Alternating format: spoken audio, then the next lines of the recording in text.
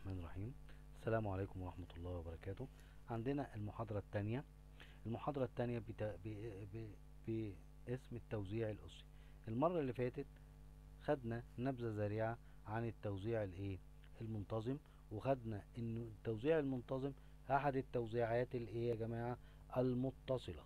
أحد التوزيعات الإيه؟ المتصلة.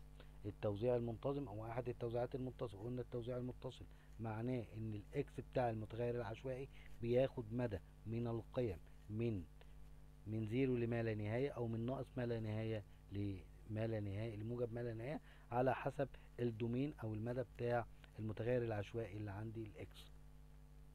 خلاص كده يا جماعة.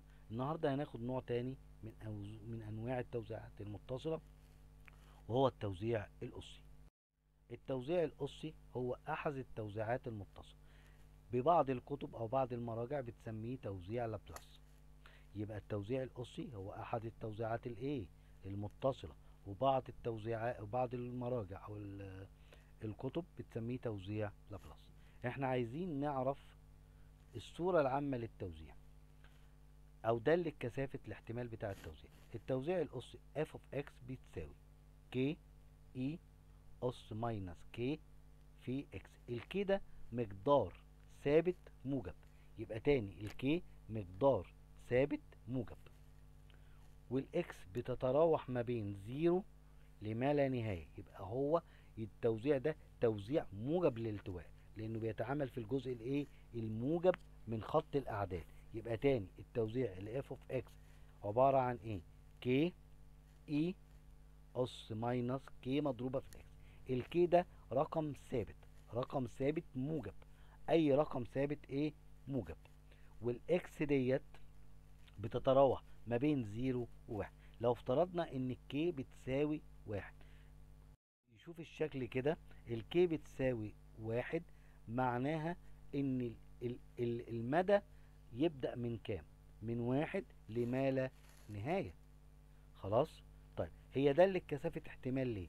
لأن إحنا قلنا أي دالة كثافة احتمال لازم تحقق شرطين. من شروط دوال كثافة الاحتمال. شروط دوال كثافة الاحتمال أي دالة كثافة احتمال لازم تحقق شرطين زي ما قلنا المرة اللي فاتت وبعيد.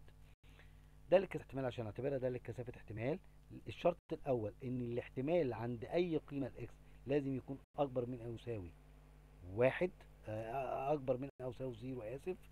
يبقى دالة الإيه؟ الاحتمال عند أي نقطة من نقط x أكبر من كام؟ من zero. الحاجة التانية إن مجموع الاحتمالات كلها بتساوي واحد اللي هي التكامل إحنا هنا بنقول تكامل ليه؟ لأن توزيع متصل يبقى التوزيع المتصل بناخد التكاملات لكن في التوزيع المنفصل بناخد السميشن المجموع يبقى الفرق ما بين التوزيع المتصل والتوزيع المنفصل. المنفصل بقول إن هو المنفصل باخد مجموع القيم أو مجموع الدالة هنا باخد التكامل يبقى التكامل هو نفسه علامة المجموع. بس المجموع في المنفصل والتكامل في المتصل. ولازم أعرف ال domain بتاع التكامل. يعني في التوزيع المنتظم كان ال domain بتاعه من minus A لموجب A أو من B من A ل B في الشكل الدالة التاني اللي هي واحد على B minus A. في التوزيع الأسي ال domain بتاعه إحنا قلنا ده توزيع موجب للالتواء يبدأ من zero وينتهي عند ما لا نهاية. خلاص؟ بالنسبة للشرط الأول عوض عن k بأي حاجة هتطلع بالتكامل طبعا هيطلع الإيه؟ لها قيمة موجبة أكبر من أو تساوي ال zero. الحاجة التانية إن مجموع التكاملات بتساوي كام؟ واحد. تعال نكمل من zero ل infinity k ال e اس minus k x dx بخرج ال k عامل مشترك بكامل الدالة الأسية تكامل الدالة الأسية عبارة عن واحد على K يبقى K على K فيها الواحد. يبقى حققت الشرط الشرطين بتوعي دالة دالة توزيع الأسي أو دالة توزيع لابلاس يبقى هي دالة كثافة احتمال. لأن الاحتمال عند أي قيمة من قيم X أكبر من أو تساوي ال zero ومجموع الاحتمالات في ال domain بتاعها من zero infinity بيساوي واحد. طيب العزم الرائي للتوزيع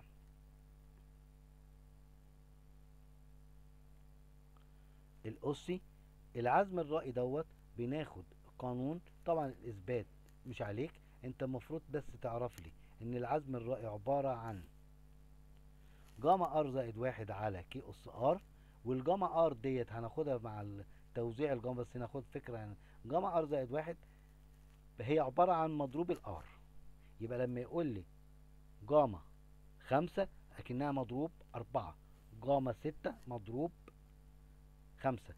جاما عشرة مضروب تسعة. يبقى على طول الجاما بتزيد عن المضروب بواحد. يبقى لو عندي مضروب خمسة يبقى الجاما بتاعته كانت كام؟ ستة.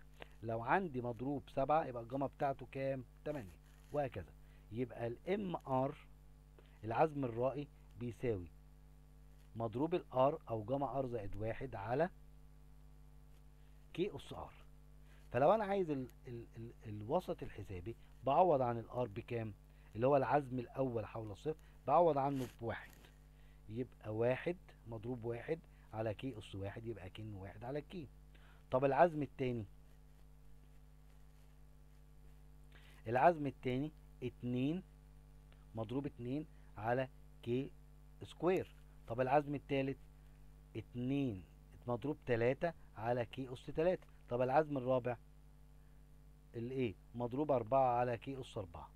خلاص؟ ال K آه، مضروب اتنين باتنين يبقى العزم التاني اتنين على K K square. لو انت خدت ده اسمه العزم التاني. عشان أجيب التباين يبقى العزم التاني حول الصفر ناقص العزم مربع العزم الأولاني. وده اللي عليه. يبقى العزم الإيه؟ التاني تاني ناقص العزم الإيه؟ مربع العزم الأولاني.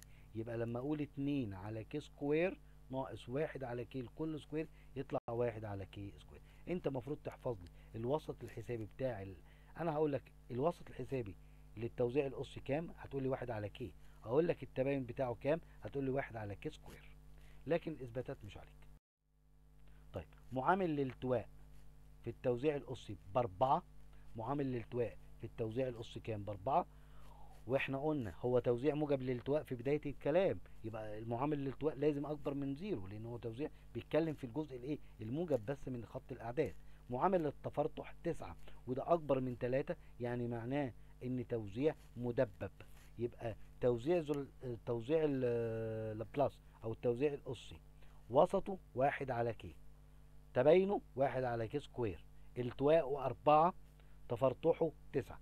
ممكن أجي أسألك أقول لك والله دي ده التوزيع الاسي وأجيب لك ال K ال K مثلا بتلاتة وأقول لك هات لي الوسط والتباين والالتواء والتفرطح الالتواء والتفرطح هيبقى كام؟ أربعة وكام؟ وتسعة. لكن الوسط الحسابي واحد على K والتباين واحد على K square. يبقى تاني الوسط واحد على K التباين واحد على K square.